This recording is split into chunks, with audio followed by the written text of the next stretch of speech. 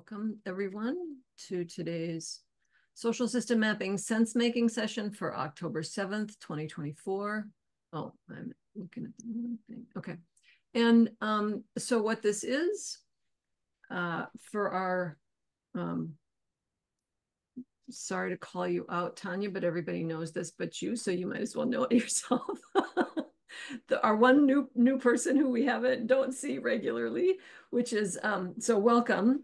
And I just want to just want to um, acknowledge that we're that we we love to have new people, and um, and there's a way we will want to prioritize your needs as we're having this conversation because we don't see you all the time, and and you know everybody else is there's there's new stuff for them in this today, but um, anyway, so I just wanted to uh, say for you, especially what this is, is a vision about my sharing my screen. I mm -hmm. Yes. So this is a vision about a possibility, the possibility that social system mapping can help um, intentional networks um, become more effective more quickly. Um, it's also a learning opportunity to learn a little bit about um, social system mapping. It's an opportunity for us to hear to get uh, in, input from you, contribute your own insight and experience about the things we're talking about today. And um, there's also a community of practice around this business of social system mapping. So that's what we're doing to here today. And um, our objectives are that you come away with a sense of the potential that we're inspired by, um, that you meet some cool people and feel welcome by them, and that you end up, you leave at least a little bit curious about how social system mapping can support a network in learning how to deal with complexity, because that's the focus for today. And you'll see today we'll, we'll introduce a framework that um, hopefully will, you'll find helpful. So um, our agenda today is we're going to do some introductions in the chat in a moment. Uh, Amy will walk us through an overview of basics about social system mapping. We'll put you in breakouts. There's not a lot of us, so they'll be small. Um, and then um, just to introduce yourselves and say hi, get to know each other's context a little bit. We'll come back together. Uh, Amy will talk about how we think social system mapping, like our theory of transformation. And then I will talk about uh, the human systems dynamics landscape diagram, which is also uh, another version of it is called the Stacey matrix. And then we'll, once we've gone through the landscape diagram, we'll put you into breakouts again. They'll be the same people. So you'll already have introduced yourselves and give you some conversation prompts. And then we'll come back and review, depending on how the timing goes. Um, so uh, when we're uh, what we'd like one of the things we'd like to getting used to introducing this piece. So so um one of the things we wanted we wanted to say is that if, if everything we do together is optional it's there's no command there's no um you don't have to do anything. And um and that includes going into breakout rooms. So if you don't want to go into a breakout room if you feel like nah i just i'm not up for that i just as soon turn my screen off and wait for people to come back um please rename yourself and put an equal sign in front of your name. So that means don't put me in a breakout room. Um if you're willing to facilitate uh, the conversation in the breakout room, you could rename yourself with an F in front of it. We're not going to need an N today, but I'm just sort of setting a norm. Um, if we were going to be using a social system map, we would ask someone to put an N in front of their name so that they could help uh, people who aren't comfortable navigating a map. They could be the navigators. And especially if you're, and another thing we that's very helpful for Kara in making uh, breakout groups that uh, stay that, that are stable is if you're going to leave early um, and you can't do the second breakout room, please put an L in front of your name so that Kara knows to make you an extra person in a group. Although we're small enough, we might not even have that. We might only have one group and it won't matter. But um, anyway, that's that's a uh, we're going to work on making this little quick announcement and hopefully everybody will get, we'll, we'll get really quick at it and everybody will get really comfortable with it over time. But I'm just um, modeling that today for future people, for people to do in the future, as well as asking for it. Okay, so then, um, oh, let's have you, Kara, I don't know if you've put the you put the um the Mentimeter link into the chat. Let's have you put the Mentimeter link into the chat. And um, Tanya, are you comfortable with Mentimeter using Zoom and Mentimeter? Okay, great. So um, I don't need to explain how to toggle between the views. Um, and uh, you can open up that link and there will be um, a, a, a question in, in the Mentimeter where we're asking you to share your name, pronouns, location, um, and, a, and a network that you're working with or thinking about, um, just a little bit about some kind of your connection to networks or a network, because we sort of make the assumption that if you're with us, you have some kind of network behavior going on. oh, and Nikki, welcome. I I saw your name show up and then I didn't see you because of the scrolling like the space in my thing. So I just want to say welcome. Glad to have you join us as well. And um, Nikki, are you comfortable with Mentimeter? You okay, great. So once you've put your responses in, huh, Nikki's in Portland with the Nutrition Oregon campaign. Uh, Curtis is in that neck of the woods right, Curtis? Yeah, not today. I'm in Palm Springs, but more normally I'm in the PDX area. Yeah.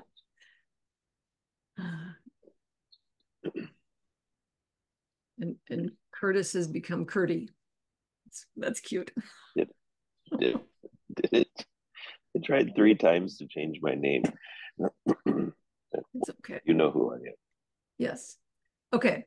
Um, and then there's Amy and Tom and Curtis and, and Mary. So Tanya's in Saskatoon and Canada supporting an impact network being developed to enable older adults to engage to age in place. Well, there's not, it's not too long before that's going to be an issue for me. So that's cool. Okay. Um, next slide is um, what's the possibility that you envision in the system that you're engaged in. So you all have a network that you're working with or thinking about. And um, what's the possibility that you're hoping that you're trying to move towards with that network?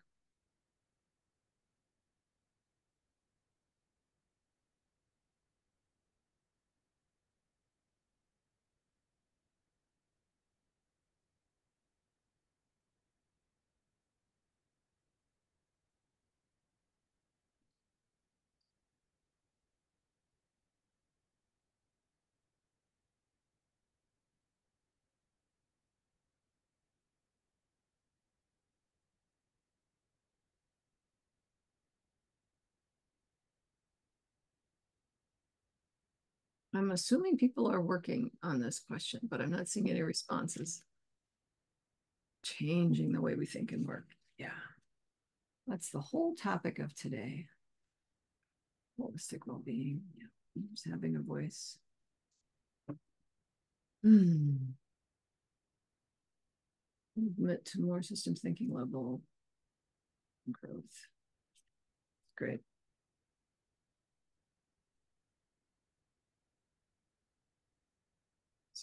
The network is meaningful. Mm -hmm. Yeah. Great. Thank you. Yeah. Okay. I'm going to move to the next slide, which is a quick question about how familiar you are with social system mapping.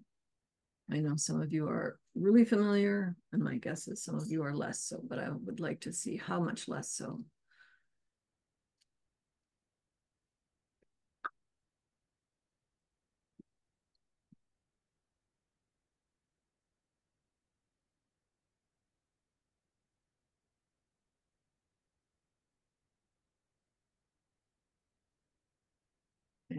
We have another.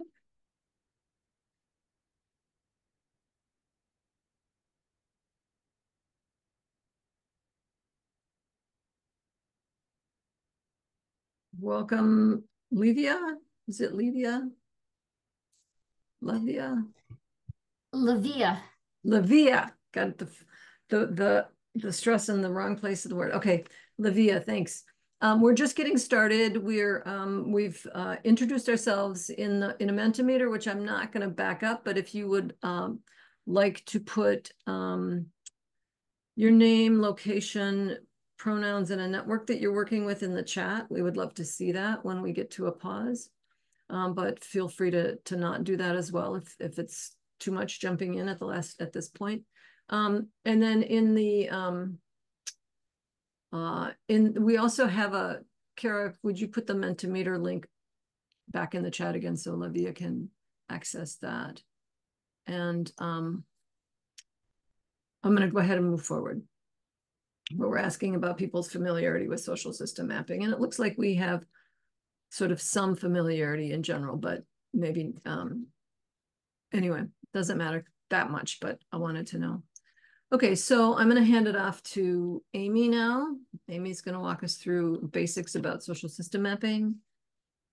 Um, and then Livia, just one last thing. We're going to do breakouts uh, a couple times in this session, probably. And if you don't want to be in a breakout room, just um, would you just let Kara know that you prefer not to go into a breakout room? Just put in the chat, I don't want to, or direct message.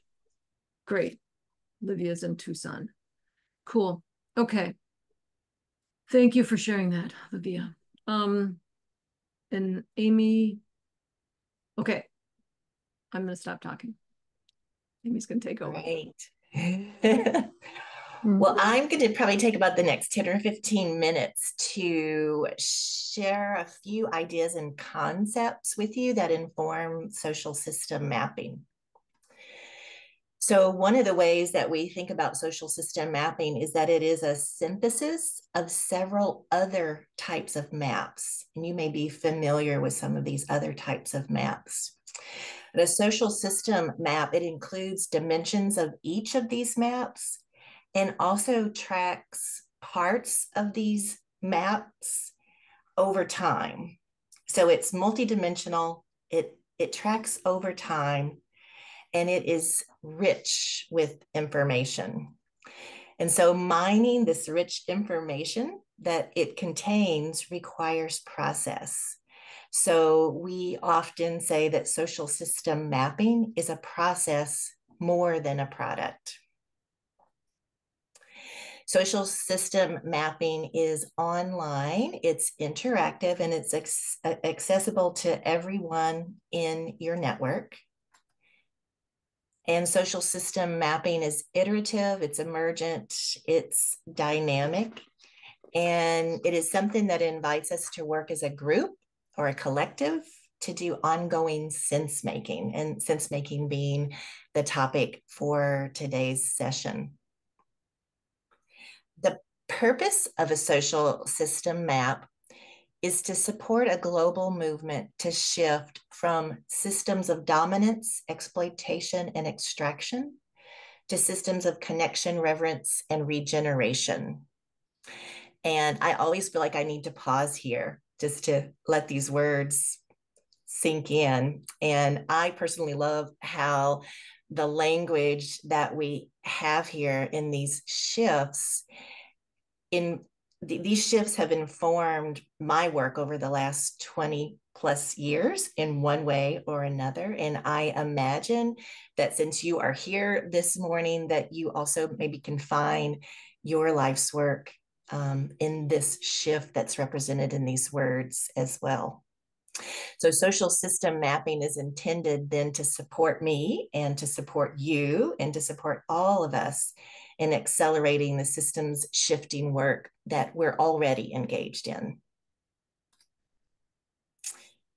And so in this community of practice, we talk about two conditions that are required to shift systems of dominance, exploitation, and extraction to systems of connection, reverence, and regeneration.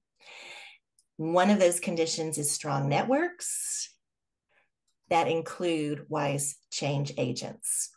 So you're likely here also because you already know that the types of intractable social problems facing us today require a network approach. And to have strong networks, you may also know that we need individuals who are watching and shepherding the network with intentionality and mindfulness. And so, together, as we show up in these Monday Zoom spaces that Christine convenes, we grow our individual and our collective capacity to be wise change agents in whatever system we find ourselves. And this increase in capacity has us also integrating two fundamental shifts into our being, while we also are inviting and nurturing this, these shifts in our networks. And so I want to talk about the two, two shifts. The first one I want to talk about is a relational shift. And particularly for me, uh, being from the US, and maybe for you, if you were also from the US, I think of this idea of the myth of rugged individualism that I have been conditioned under. And the relational shift begins when we step outside of that myth and recognize that we are not just solo actors, but we live and we grow and we fail and we succeed in webs of connections with others. Uh, not just human not just connections with humans, but with all of creation and maybe even beyond, depending on how you think about these things. So, relational shift. And the second shift that we talk about is a cognitive shift.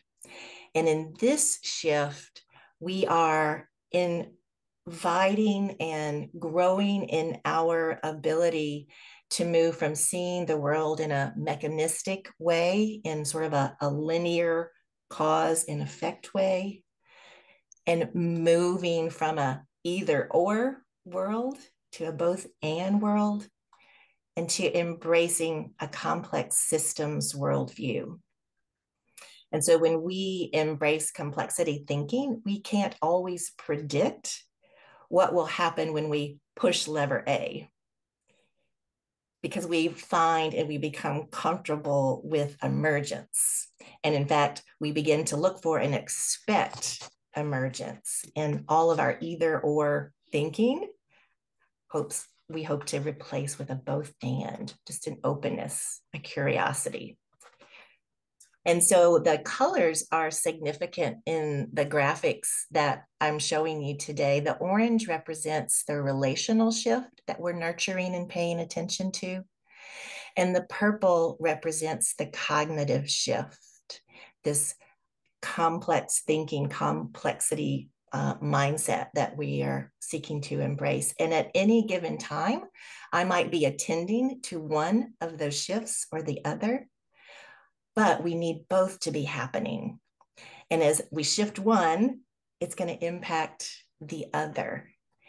And so this slide reminds us that these two shifts, relational and cognitive, are really two perspectives perspectives on the same theme thing. So the invitation to me, to you, is to look from both angles regularly and together as a community. And so social system mapping helps us make these shifts, relational and cognitive. So I want to pause now and invite us to go into breakout rooms.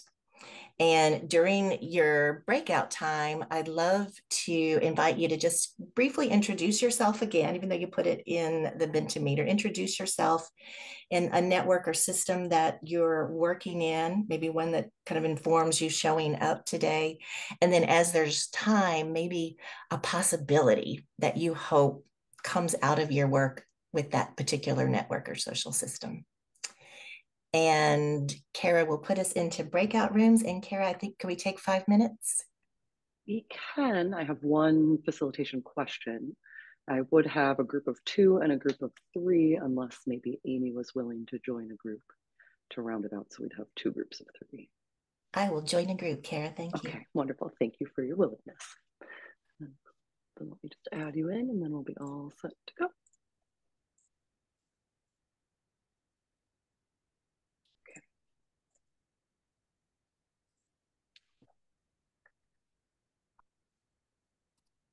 Mm.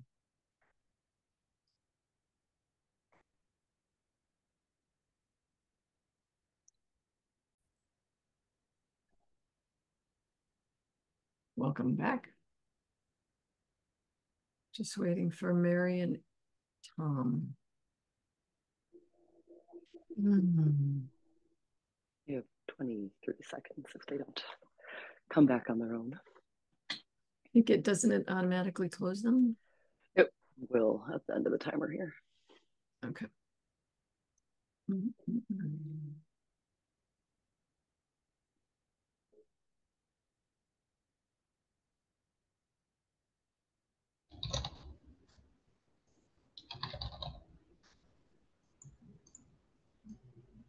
Okay. We're all back. Trust that you had some good conversation and got to learn a little bit about each other. Let me share my screen again.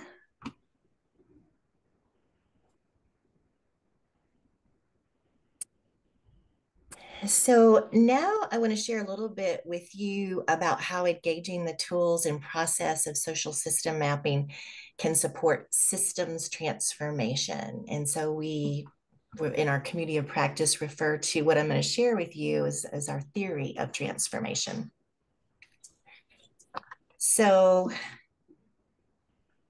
we, we, we start this theory um, with thinking about a group of us the people or the organizations that are working on the ground. And maybe this is across a city or even across the globe. And these people or institutions, but let's say people for my explanation, may be learning together already. They may be in cohorts, but maybe not, and maybe not coordinated. And some of them may not even be aware of the others. And so we, some of us begin to sense that many of us are working toward a common purpose. And so I know in my breakout room, I got to learn a little bit about the purpose that Nikki's working toward and the one that Tanya's working for. And so we realize that some of us are working towards a common purpose and we start to experience our work towards that common purpose, bringing us in closer proximity to each other. And then a subset of us, we sometimes refer to this as the core, but a subset of us begins to sense the potential for increased impact if we could begin to connect more of us. And so here in the middle, we've got a few few people who are like building relationships with each other and realizing that there might be more potential here if we could bring more of us together. And so this group, usually this group in the middle, begins to set their intentions on gathering more and more of the field. And the core begins engaging others in convenings. And so you have this orange swath growing as we're bringing more together. And so maybe the, the folks in the center are making introductions and closing triangles and generally helping to build and strengthen relationships. The core then starts to say, well, how could we see our members and our connections, our network better? They might ask, how might visualizing the network help members take more agency, do more self organizing, and ultimately have greater impact toward, toward the shared purpose? So the core makes a map. And what we see here with the arrows is coming up the, the left side, we have the data for this map coming directly from the members themselves. And then the data is available back to the members. And this is our first representation of a social system map. Here we're using the tool SumApp that Christine and her partner Tim developed as our data collection tool. This is allowing the people themselves or the organizations themselves to input their own information directly in the map. And then the, the data feeds into Kumu to create the visualization. And so that all of the data about the members, their connections, and the visualization is made available to the members. And this system, social system map, begins to set the conditions for even more relational shifts. So we'll start to see the orange growing and eventually also sets the conditions for the cognitive shifts. The core uses the map strategically, maybe to make some more introductions, to inform offerings. And we have some of the members using the map, but we also see that eventually the core kind of steps in to help integrate the map into more of the network activities. So they might spend time helping members use the map and discover additional value from it. The core themselves use the map to discover prompts for dialogue and for learning. They use the map to build a shared understanding of the field, of the network, and to strategize together. You also may have noticed now we got some more energy in our core as new members um, begin to join. And all along, the map is iterating. It's getting better input from a wider range of members. The content is changing, and the map is getting more data that is more aligned with the needs of the network. So these white lines, if you've noticed, they start to kind of curve in a little bit, and this represents that the data is getting more and more aligned with the purpose in the members of the network. So now you see a little bit of purple coming in. So now we've got the core and the members starting to use the map as a systems thinking tool. They are helping the network practice complexity thinking and having a complexity mindset using the map for seeing and understanding and influencing patterns in the network. And all along, the network continues to inform and reform the content of the map. So, more and more, we're having new questions, new data, a larger population represented on the map, so that the data becomes increasingly integrated with the values, purpose, and identity of the network and its members. And then we're having more purple, more orange as we increase convening and hosting and resources are flowing. We've got an increase in our collective ability to do systems thinking. We are increasing our shared understanding across important differences in our network. And the network starts to increase its understanding of how the practice and learning that they're gaining can be applied to the broader systemic shifts that they're trying to create, even beyond the boundaries of the network itself. We again keep iterating, the map keeps changing, and the data and the map become more integrated into the activities and the shared awareness and the potential within this network until we have everything sort of converging here. We've got the data, the map, the mindsets, the relationships, and the actions integrated and aligned. The system sees itself, it has self awareness, it's a learning organization. Thus, we are now at the point of maximizing its transformational impact. So, this is what we call our theory of transformation and how we think a social system map, social system mapping, can support our, our change efforts that all of us are doing across the screen. Christine? That was great. Thank you. Um, yeah, and I'll just say if, if, you stick around, you'll you'll also hear us refer to that as the vortex. That's our shorthand. Is it's the vortex because it looks like a vortex we had a big discussion as we were designing the whole thing uh, about if vortexes were too scary and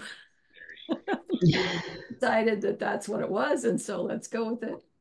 Um, okay, and so today I'm going to talk about, let me just get my, um, share my screen.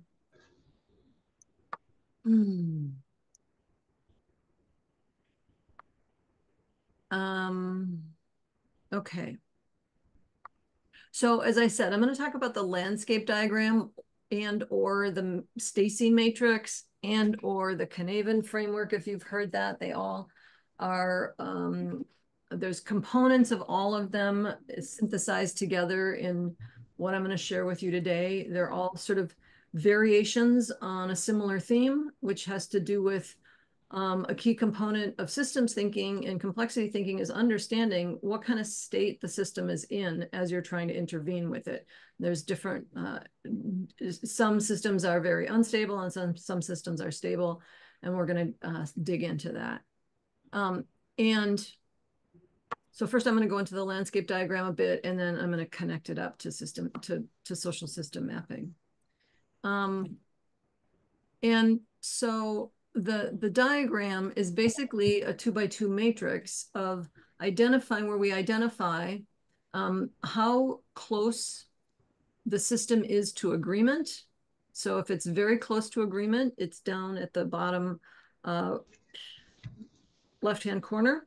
Um, meaning agreement, meaning we all have shared understanding. We're all on the same page. We all think we want to go in the same direction. We're very aligned in terms of uh, not only purpose, but uh, just uh, you know the the the things that we need to know in order to get to our purpose um or what our purpose is. So the further we get from agreements the further we go up to this this area if you can see my cursor.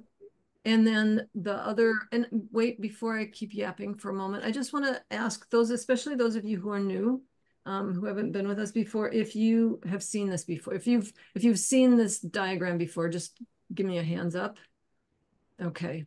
And Tanya, you have, it looks like. Great. Um, okay. So, um, in this, yeah. So, so the closer we are to agreement, the further we're down here, the further we are from agreement, it moves up here. And then this is, this axis is called, uh, from, from, um, in the Stacey matrix, they call this certainty. And, um, um, I have gone back and forth in thinking about how to like talk, how do we talk about this? And what I've landed on recently is that certainty basically means um, we know how to get there. We know how to do this. So the more we know how, like the technical aspects of how, not the emotional aspects, not the social aspects, but the like, if there are, uh, this impacts that whenever you've got anything like technological, like a spaceship or a car or a social system map. Um, how how close to we are we to knowing how it's going to work at every step of the way, and how far are we from knowing how it's going to work at every step of the way? So that's the the initial access is the agreement and the certainty. Um, the next pair of axes, or I mean, those are the axes, and in um, in the Stacey matrix, Stacey talked about if we're if we're far from agreement, but not super far from knowing how, it's just that we're we're we're far from uh, agreeing on what to change or what where we want to go. That's a socially complicated system. So if we're well, let me start down here. If we're if we have a lot of agreement and a lot of certainty, we've got a simple system like the electrical wiring in your house is mostly a simple system like I'd say McDonald's is a fairly simple system. I mean, it's huge, it's global, but they've got their, you know, they've got their how this happens. Everybody agrees we're selling burgers. You know, that's been codified for a very, very, very long time. Um, it's a relatively stable system. Um, in if if we have less agreement about what we're doing or where we're headed, that's a socially complicated system a socially complicated system can be very turbulent. Um, I'll come back to that in a moment. If we're in, uh, if if we are pretty much in agreement, like yes, we want to send a spaceship to the moon. We all agree that's our goal. Here we want to send a spaceship to the moon, but we're not exactly certain how we're going to do it. What is the what are the technology necessary? What are the the ways this part will impact that part? Um, that's a technically complicated system that's in a technically complicated system is unstable. And I just was thinking about this recently, and I, I, I started to think about why, like, we've got these words turbulent and unstable that I got from somewhere once upon a time, and um, the the the technically complicated piece was a little hard to talk about until I came to what has to do with like actually the technique for getting there. How are we going to get there? And then it made a lot more sense than Sometimes we're talking about technology and sometimes we're talking about something else like the dynamics of a broad system like an economy um, isn't technology necessarily, but it still is a technically complicated system. Um, so that came clear, this, this business about certainty, meaning certainty about how we're gonna go there, not certainty about what we're gonna do or that we're all on the same page, but how the process. And then, um, then I was thinking again recently about this business about the difference between turbulent and unstable. And I realized that a, a key thing is that an unstable system can seem stable for a very long time. It can look like it's stable, but if it's technically complicated, it's it, it's internally breakable and we don't necessarily know when it's going to break so like think of like uh you know some of the major disasters like the challenger crash that was a very technically complicated system. Everybody was you know had the same goal but there you know they had not fully coordinated all of the understanding of what will happen if this then that and it crashed. So um, it's a very small piece of of breakdown that turned into a, a, huge disaster. And so I started to realize, oh, so unstable means it's not turbulent. If it's turbulent, it's always moving, and you can kind of sense, you know, like the, you know, it's always moving. So I can't ground myself. I don't know where to how to how to land here. Um, that's one kind of like cognitive challenge, but technically complicate an unstable system is a different kind of cognitive challenge. It's like it seems fine, it seems fine, it seems fine until until it doesn't. And um or you know, there's like with our software, there's lots of little times when oh, that's not working anymore. Oh, because we, we we updated this and oh, we broke that. And so that that's a kind of instability. So socially complicated, technically complicated, and then if it's both, you know, relatively high in uncertainty and relatively high in social complication, then we get into the zone of complexity. And this is where we have to, and um, I thought it was interesting when I was thinking about this recently because I hadn't really, when I was thinking about and sort of codifying, you know, we have the relational shift and we have the the cognitive shift. I wasn't thinking about socially complicated and technically complicated, but I recently was looking at this and I was like, oh yeah, duh, they fit, you know, like we need to make a strong relational shift if we're in a socially complicated space. And we don't, it doesn't need to be um, super cognitive, but if we're moving, if we're in a place where we're, it's technically cognitive, then we, then we have, uh, I'm getting sped up and ahead of myself. For those of you who are new, this happens. uh, uh,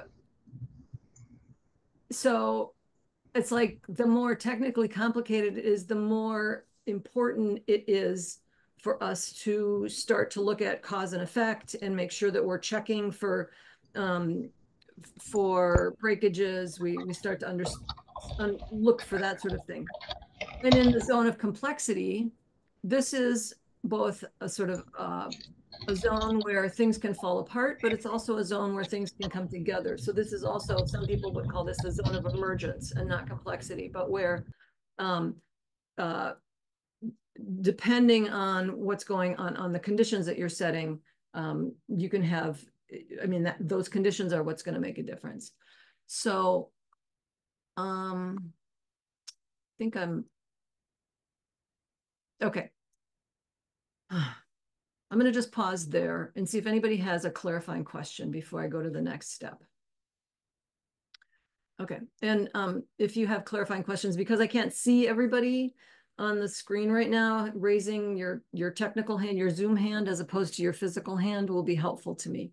Um, or unmuting and just voicing in when I'm saying, does anybody have any questions? Um, which I'm not seeing at the moment. So I'm going to go ahead and move to the next slide, which is that the point of identifying where we are in a system. So it's like, that's all kind of interesting, but you know, there's a level of like, so what? So there's complex systems. So sometimes systems are more stable, et cetera. Like, who cares? What, what, what does that, what does that have to do with my goal? And um, what it has to do with my goal or our goals is that if we're depending on the, the conditions of the system, we need to interact with the system very differently. So in a stable system, we know what cause and effect are. They're obvious. We've got that figured out. And so in a, in a stable system, um, we, oh, let me, let me just notice that I'm getting ahead of myself. Which is what happens when I get sped up and I'm not paying attention to my notes anymore. Okay, so the one thing I'll say about about the um in a complex system or an emergent system, the more the more it's heading up towards where things fall apart, the more complex it is, the more it's characterized by, and this is the piece I wanted to say on this slide, is just um, interconnectedness so that multiple parts are influencing each other. And if we're up in the zone of complexity, we've got both technical, how-to things impacting um, social uh, agreement thing. So we might have some answers, but people don't like them, or people might have, have a sense of a way forward, but they don't work given the context because of cause and effect. So we're there's a lot we need to be taken into consideration. And no matter how much we take it into consideration, we're, we're never going to be able to predict exactly what will happen because there's too many parts. Um, so the, the interconnectedness is a characteristic of the zone of complexity. Um, the there's also a non-linearity going on where teeny tiny changes, like I, I mentioned, like the in the Challenger disaster, it was what it was like a something hit one of the tiles on the outside of the spaceship, something like that. It was a very small thing, but it created this huge impact. And so often, so nonlinear interactions means that small things can have really outsized impacts and uh, importantly, likewise, and we see this in networks a lot, really huge efforts can have no impact because we don't really know uh, what will work. And so we're putting a lot of energy into something we think will work without testing to see if it will or it won't. Um, and so, so it's characterized again by interconnectedness, nonlinear interactions, and then lastly, emergence, meaning that that new properties can come can arise from the interaction of smaller and simpler components. Given all the causes and effects and the um, and the nonlinear interactions, we we don't we not only can we not predict what will happen, often things will happen that we couldn't have seen or we, we didn't that didn't exist before.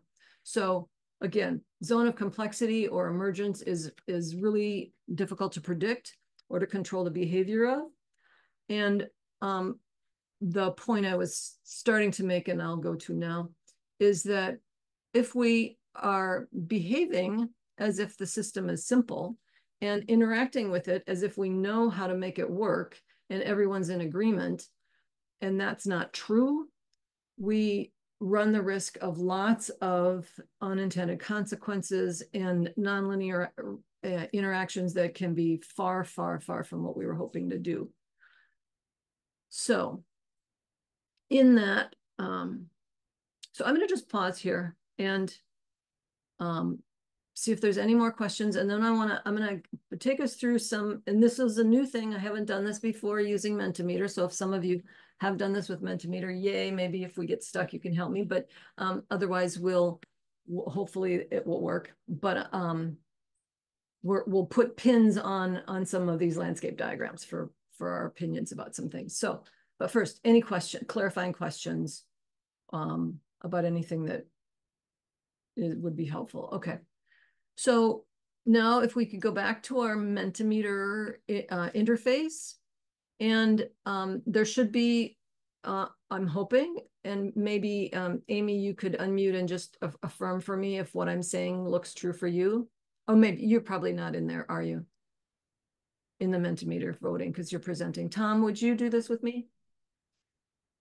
Or would you unmute? Are you in the Mentimeter? Yeah, I can see it. Okay. And it, does it say where are you most comfortable? And then there's a picture yes. of the matrix. And can you see a little black pinish kind of thing that you can move yes. around? Okay. So then uh, if anybody, I'm hoping everybody else can see that and can find their pin and can move their pin into the the area of the of the Stacey matrix where you feel most at home, most like you know what to do, most comfortable, like your preferred, most competent place. Um,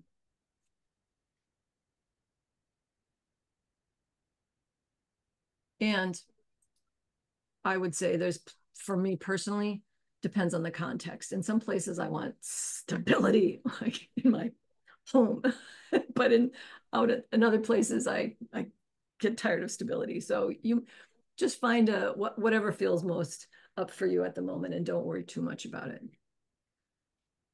And let's see, how many people, how many votes should there be if we were all doing one, two, three, six, one, two, three. One, two, three, four, five, six. Does anyone seven? Okay. Um, okay. Can every and every now can everybody just spend uh um go back to my screen and see everyone's answers so we can sort of look at our distribution, which is somebody likes things very stable. Um, a handful of us like things sort of just at the at the at the cusp of emergence, but not too far. And one of us is fairly good with it being fairly technically complicated, but not so much with socially complicated. And oh, and I didn't I didn't put myself on here just just for the record. And um, someone is comfortable with a lot of technical complication and some social complication. Okay, so that's our personal um, our personal preferences. And then I'm gonna, the next one, so I'm gonna ask you to do this again with the pin. Where do you think your network is in terms of its actual, not the, not the norms of the network, but how that, you know, how complex is the network and, and or the system, the thing that you're trying to change? Is it super socially complicated but simple? Is it super technically complicated, etc.? So if you could put your pins where you think your network lives. Did I do that? No.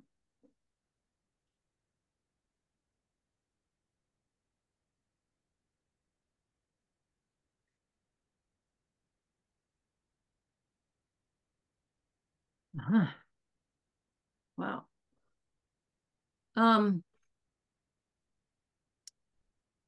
So I want to make one point, which is that if we're doing this with a group, um, and we ask the group, where do we think our networks? Let, let's say it's a it's a group that is like it's a it's a social it's a it's a network with a with a goal, and we're talking to people in the network, um, and we ask the people in the network, where do you think we are on this on this matrix?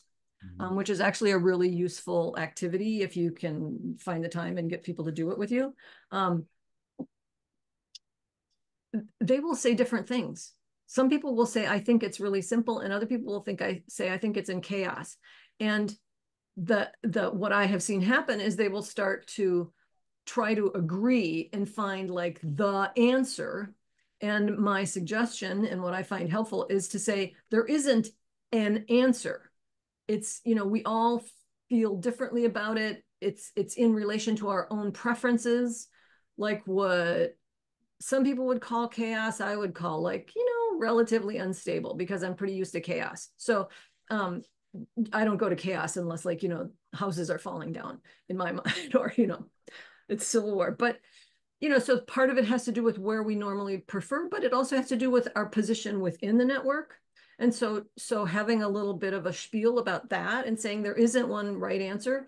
And what's valuable about doing this together is to hear why do you think this is a simple system? What makes you feel like this is, is in chaos? What makes you feel like this is socially complicated but not technically complicated and vice versa? And so then it become a, a dialogue where we get uh, have an opportunity to to not argue with each other about who's right, but actually hear how each other's thinking about it and start to get some shared understanding that um, not about finding the correct answer. It's about actually hearing each other and understanding where each other's coming from and holding in our minds the, the fact that there are different perspectives on any reality. Um, okay, and then lastly, this is just a, a, a for our conversation together, where do you think, oh no, wait, I missed one. I'm going to just go to the next one. Okay. Where do you think social system mapping as an activity, as a process, fits into the Stacey matrix of conditions? Those of you who are mappers, or if you're not, you could just guess. But where does it strike you as it? It's probably here, or it's probably here.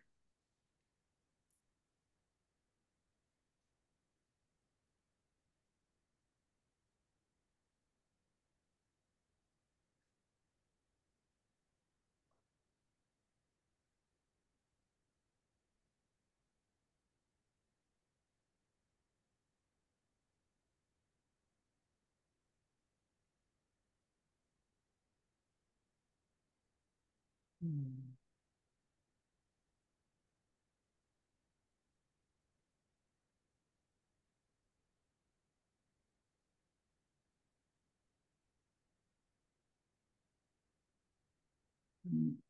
Not certain if we're done voting or not.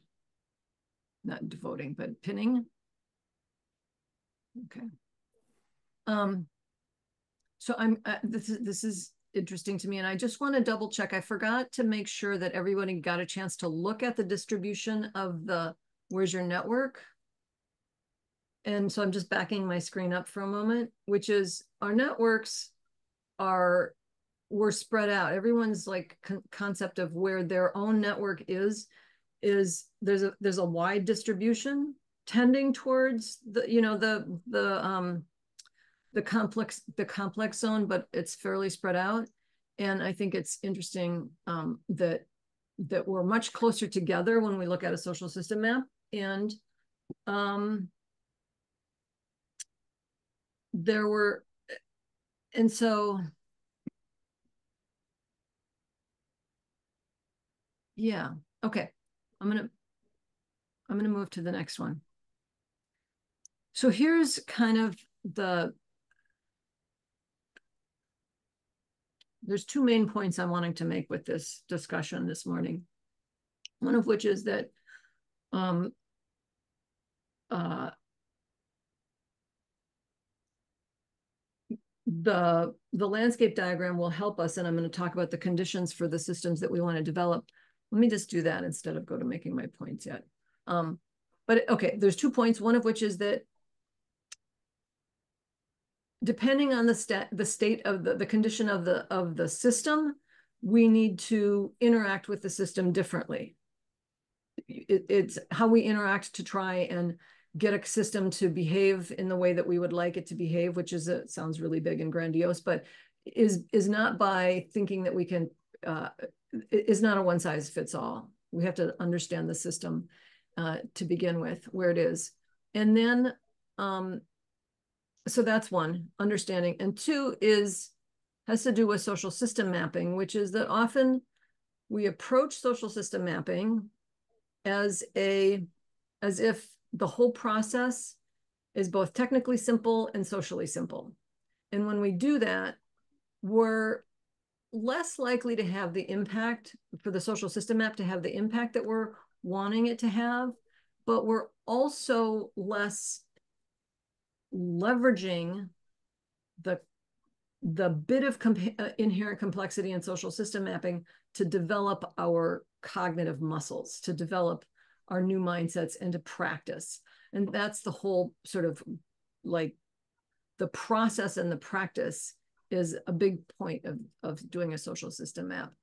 So um, in in so condition wise in terms of where we are in a in a mcdonald's kind of universe we can we can say here's the best practices. You do a b c d and e in this order always this way. We can we can sort of we can we can codify it. In a socially complicated system there are good practices and i like to think of these as principles that we can that we can follow to to create the conditions in the system where we still can't predict and we can't control outcomes but we can say the conditions are going to support it moving in the direction we want. If we've created um, the, the if we've done the good practices and socially complicated likewise in a technically complicated we can have good practices which is this like we have some we have these principles we know the conditions we're trying to create and we do that.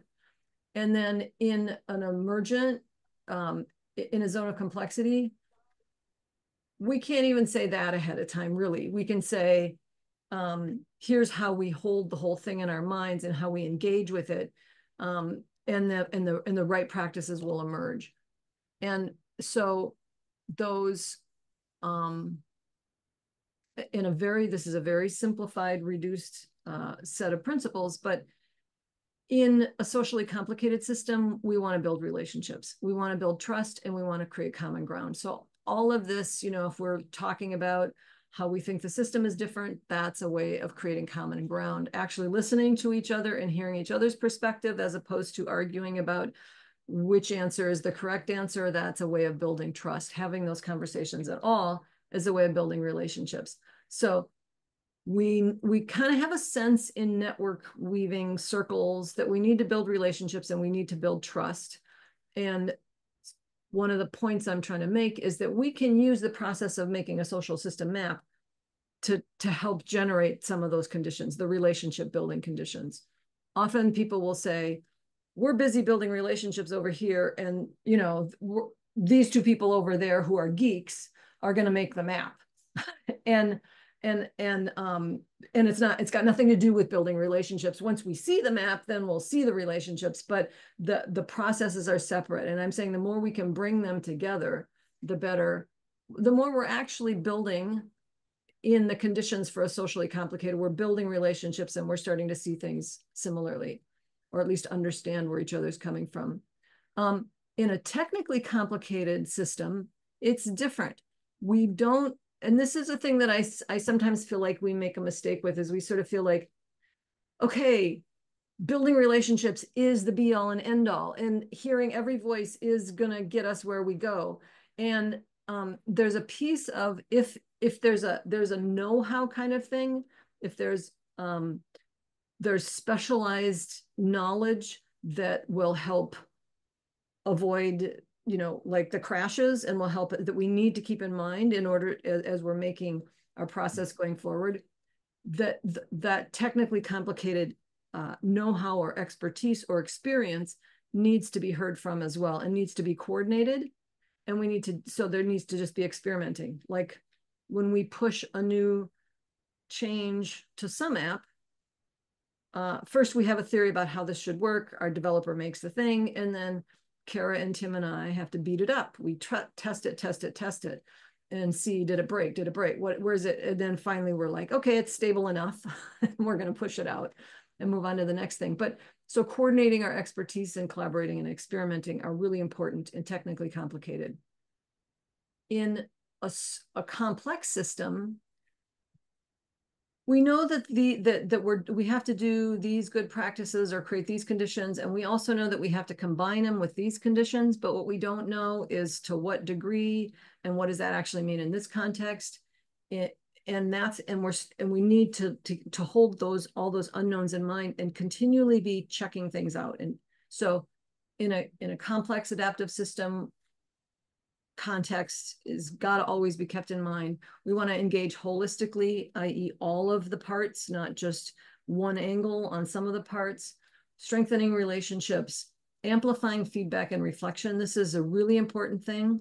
Um, I was thinking about this recently and I was thinking, okay, what's a metaphor? I don't generally do lots of examples and metaphors. I tend to stay, which is everybody says is very helpful and I agree, but um, it's it's a it's not my strength but I was thinking, okay, what's it like? I was just thinking about in I'm in Minnesota. In Minnesota, people like ice fish and they go out on frozen lakes, which I just find like the scariest thought. I just wouldn't do it, especially not in the truck, but they do. And I was thinking of like walking across a, a, a lake with thin ice. So like a complex system is like a, a lake with thin ice. And you know you need to get to the other side, but you don't exactly know what underneath the, the water is creating thickerness or thinness. And so you don't really know where is a safe step. And so when when you're walking across thin ice, you take a, you know, you sort of slide your foot. You don't go, you know, don't do a big stomp. You sort of slide your foot gently forward, and then you sort of gently put your weight on the next foot, and then you sort of slide your foot gently forward. And so you're sort of doing this very creeping, tentative, and you know you you shift when you've shifted your weight then you're like listening for cracks in the ice or you're looking around to see if any cracks started and if a crack started you just sort of like shift your direction way in a different direction or you might back up. And and that creeping across the ice is actually how we can be effective uh, strong change agents in a complex system is not making huge not taking big jumps like off both feet. And that's so like when i'm when i'm saying i want us to be adaptive and to, to like take a teeny tiny step and then reflect. So we get feedback and reflection. We're listening for the crack in the ice. We're looking for the crack in the ice.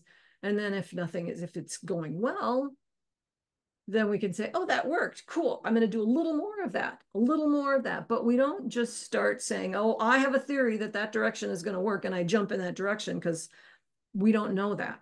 And so that's that, that that sort of thinking about crossing the lake uh, a lake with thin ice sort of became the metaphor suddenly in my mind for adaptive action. Like that's how we move forward. We don't plan out a year's worth of activities and think that we're going to actually be able to do them.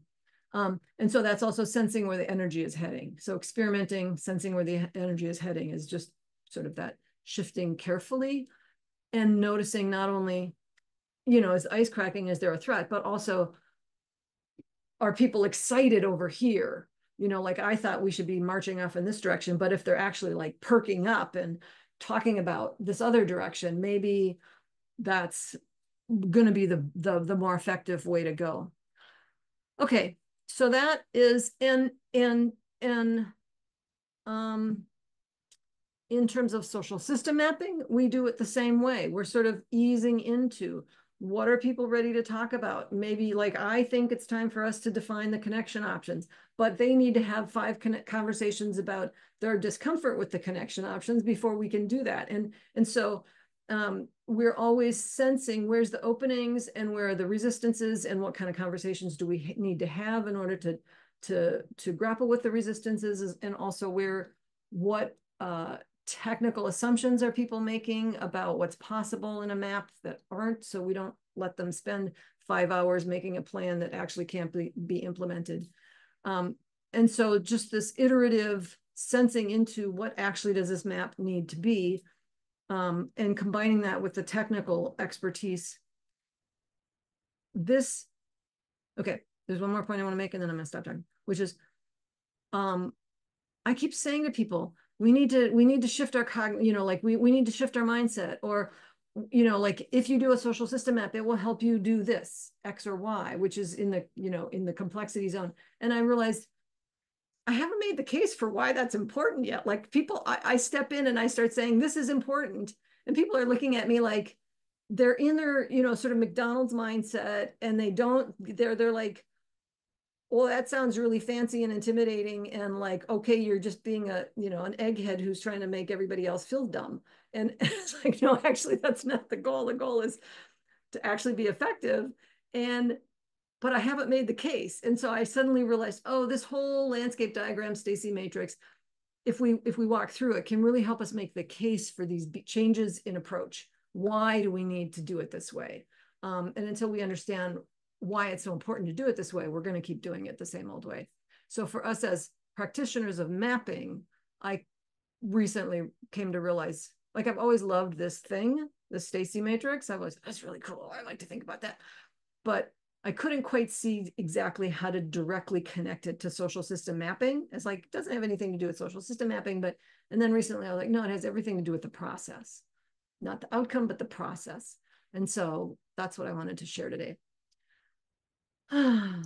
okay, I am going to stop here. And um, let's, okay, no, I'm going to say two more things about just the the process. So, so all, all of our contention, we've all been making this case, but without maybe explaining why it matters, um, is that social system mapping can help us build those cognitive muscles and build them together in a way that both strengthens relationships and uh, because even thinking about how complex are we what are the disagreements where are we not aligned what are the technical unknowns um, doing that together is we don't ever have to use the necessarily use the words, but it is moving us up into the complexity, into the the area of being able to navigate in complexity. And so um um and so social system mapping connects us both to like helps us practice it and apply it and also do that together in a collective way. So that was the the where I wanted us to land on from what I was going to do. And then um I'm seeing that we have like 18 minutes left and I had some conversation I wanted us to do in breakouts and I'm thinking we're a small enough group. I'm debating. Amy, what do you think if we just do it together for like we stay together for maybe 10 minutes and then we go well then if we stay together we don't need to do the review piece because we're together um, and that'll give us a little more time for the for just open conversation Like it. okay and so the questions that i wanted for the breakout and we'll still keep to is just for us to sort of share your what's coming up for you about the the gaps that you're seeing both either in your own like how i how where i'm comfortable and where i my work needs to be or in how my network is operating and how complex it actually is or isn't or in our social system mapping process. Somewhere what is the is there a gap between how things are being approached and how um, they could be approached given how complex they are? And then what changes in practice could you imagine to reduce any of those gaps? So those are my questions and i'm going to just um, stop sharing my screen and turn off my little space heater which is keeping my toes warm because it's cold in minnesota. And um, open it up and i will um, oh so let's do this because uh, we are uh, adopting a practice of, of uh, selecting who speaks next based on whose voices we've already heard a bunch from or whose voices usually get heard. And, um, and in order to do that, I have to know who wants to speak, but not just say who's next and let them start speaking. I hope that makes sense, but you'll see how it works in practice in a moment. But so if you if you have a thing you'd like to share, please raise your electronic hand. Um, is everybody able to do that? I think. And um and and then I will see whose hands are up and and make a choice about who to engage next and um and I see Tom's hand is up and I want to um prioritize if there's anybody who's not been around um but Tom we'll have you go ahead and then we'll see if anybody if if any new people put their hands up I would move to them when you're done yeah just a gap I'll just start with the landscape diagram itself.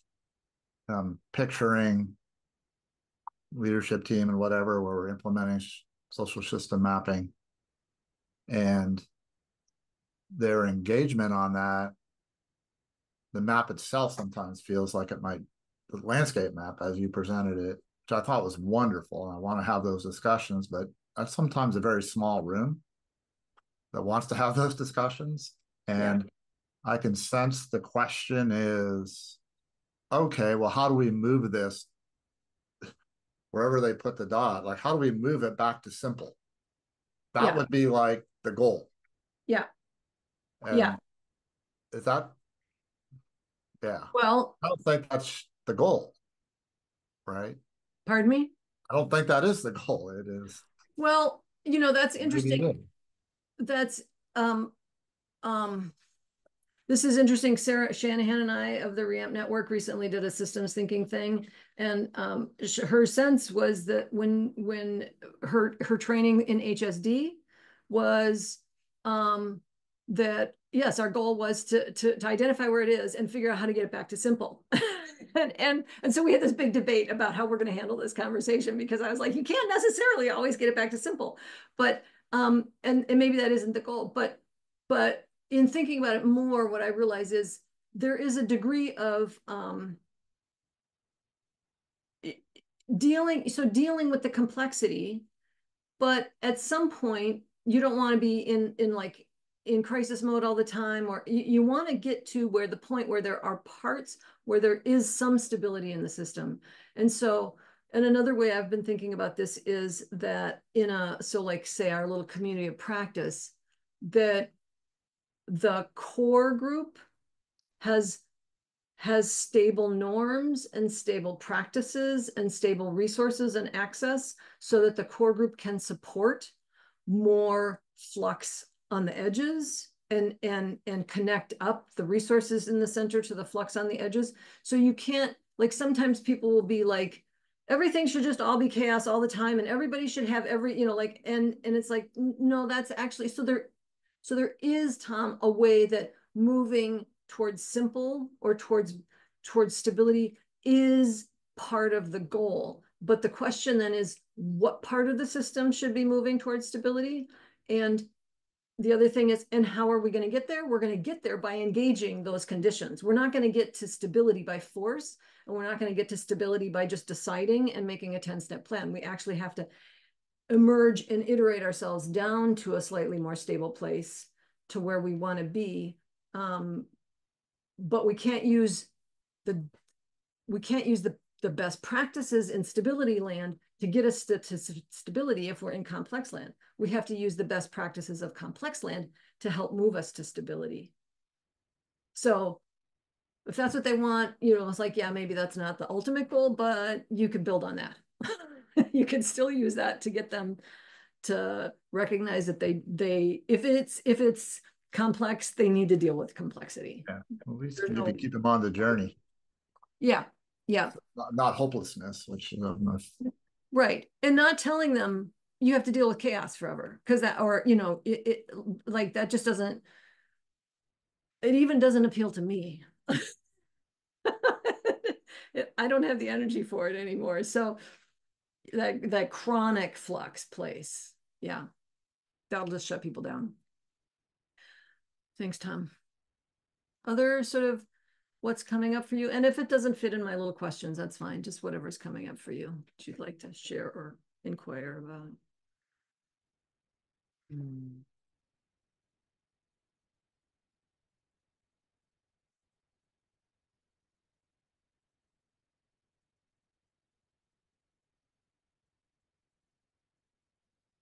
Okay, I'm gonna keep waiting.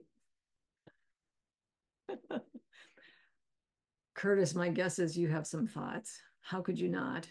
And I, my guess is that you're just being patient and and being and being um, equitable and not speaking first because one of our one of our understandings collectively here is that often white people speak more than people of color and often men speak more than women and and uh, Curtis is very understanding of that and has been being patient. But now I see Amy's hands up, so I'm going to go with the Amy and Curtis. I'm going to I'm going to pick on you next if no one else raises their hand. You're muted.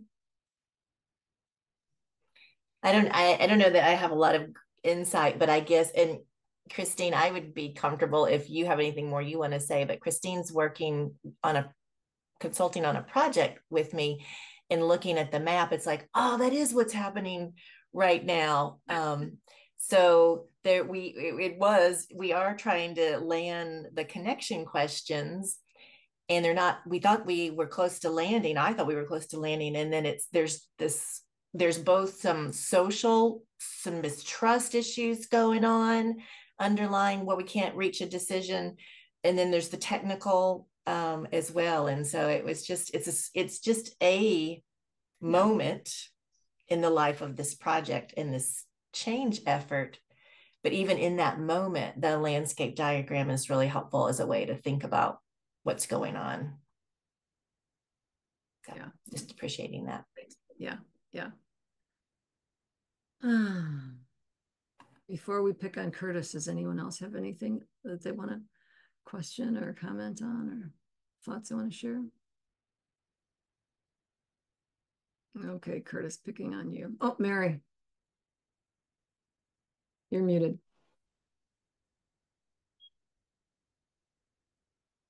I uh, appreciate um, the comment you made about, um, I forgot what I was going to say now. Um, uh, uh, that you can uh, for instance, if I use social system mapping as a tool, um, you can, and are thinking that way, you can miss a lot of potential and opportunities. And I think in terms of the past, social system mapping may have been seen as a tool and attractive, attracting people as a tool. Mhm. And um, gratefully, you've been spending a lot of time working on what it is as a process, not a product. That's it. Thanks. I'll just add to that that, I mean, I've been doing this work. We developed sumApp and then sort of developed the the framing around the way the way that's around what social system mapping is based on what was technically possible. And I started this, I mean, as a software, I mean, I have the interest in complexity and systems thinking and network weaving, but I was a software developer and we made, um, I mean, we made maps for people and I totally approached this from a, here's the process, here's, here's the technology, here's what we need to do, like, how are we building this? And, um, and it is just from observing that when you approach it that way, it doesn't like if one person makes all the decisions and then they're trying to engage people uh, after it's done, it just never really takes. It just never really becomes compelling for people or meaningful for people. And often people think it will solve all their problems. Like, oh, we'll just put this thing in place and it will solve all their problems. My experience is it just plain doesn't. So that's been my motivation for this pushing. Also, Tanya, yeah, thanks. I just to build on what you say, it's because we're very interested in actually using sumApp with our network. Um, uh, we have Kumu. Um, I'm just curious from this group, like, how do you go about introducing, like, to your point about like, how do you introduce systems thinking to a group of older adults? How do you how do you help people see and then i have you know more practical questions because some of our network are um, not as keen to use technology so how can we engage with them for that ongoing um, data that they could share and seeing the value? What i really like about this is the integration um, of the monitoring the reflection because from uh, an improvement perspective you know you you constantly need sources of data to reflect with the team to understand are we moving in the direction we want to be moving in? Mm-hmm. and he couldn't quite understand you know what those metrics might be but really in a network it's it's a living thing mm-hmm. right? Like it's going to ebb and flow the dy- dynamic nature of it. So how do you have that real-time information that as a group you can look at and decide where you need to go? Um, so sorry lots of questions in there but that's kind of where my head's at is I'm not sure where to start. Um, because I don't want to be the group that goes off and maps and says, hey, like, you know, what do you guys want to add? What's missing? It's like, no, that's not the point. It's not the map, it's the discussion. Yeah. Well, and so um, we have since, and, and I'm, I apologize for not tracking the time as closely as I might have been. So I was forewarning us, but um, so we have five minutes left. And so we should wrap up. And I those are really valuable questions that we are sort of all always exploring in these Monday sessions. First, second, um, um, the one thing that has I have seen be useful, and I think Tom has done this, and Amy has done this, and Curtis has have done this, and I've done it a few times now. Of uh, is to start with a prototype of a map and and have it be super simple, but just some people doing some connections with like no survey data. It's very it's so it's so abstracted down that no one can think that this is what you're actually going to ask but that you have nodes and lines and you show people how the technology works. And i understand like if you have people who are not going to be uh, super excited about technology they can usually think it's really cool if they can watch somebody else do it. So really reducing the demand on their literal eh, physical engagement with technology and but showing them what's possible and then at just about every step my answer is getting closer and closer to being and then ask a bunch of questions. So just like, here's a possibility. How do you think this could help us? What do you think we could do with it? What might we want to know? And just open up a conversation. How could this be valuable for us? And facilitate the conversation and then follow those answers. And if the whole group says, this sucks and I would be horrified if we did this, then you kind of have like, okay, I need to back up and maybe wait a year or two. but um, but then you know, and you haven't wasted your time on that. And generally that won't come up. What will come up is more, you know, sort of maybe this would be helpful or maybe that would be helpful. And then you sort of follow that. Well, I mean, they're already wondering like, how do I make the, they're, they're like, "Uh, we need a directory. I need to be able to, I want to know what people are working on. So I was trying to take that angle, but that's very helpful. Thank you. Yeah. So we're getting to the end and um um Carol, are you ready to make an announcements? Thank you. As always, yes. Uh, let me just switch my tabs here. Um, so our next Monday sense making session will be on the first Monday of November. Uh, we did not chat if that's back to an Amy and Curtis amalgamation or not, but usually either Christine, Amy, or Curtis is our presenter for those. Um, and then on our second Monday this month, it's October 14th. We do have a new map to look at from our community member, Evan. I never say his last name correct. Is it Curis? Curis? It's, I think it's Curus, Curus. Okay. Yeah. Uh, and that will be on uh, kind of a mobility constellations map in his state of Massachusetts. Uh, and then on our third Monday, we have a deep dive that'll be October 21st.